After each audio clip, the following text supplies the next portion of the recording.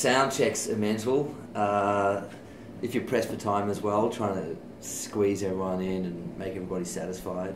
Um, but the eight makes the live show much better, I think.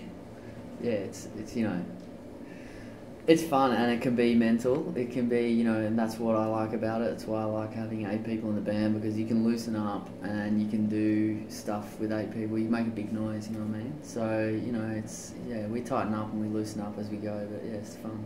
Got the chief sitting to my left just here. Yeah, yeah, I get to uh, make the sweet, sweet decisions. So yeah, the reason why we're here and we you know we tour so much is because we actually like playing together, which is pretty It's surprisingly rare. yeah.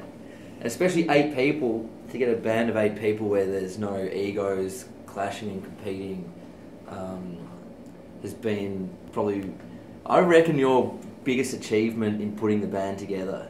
Yeah, me too, actually. I reckon the hospitality here is great. You know, like just people, like maybe not necessarily like talking about all the venues, but just people. The hospitality is so freaking good. You know, like Australia, it's great. People are nice in Australia and everything, but I don't know. Maybe you take it for granted because it's your hometown. I've noticed driving on the roads, the English are very polite. There's a lot of waving and smiling and communication, perhaps less horn.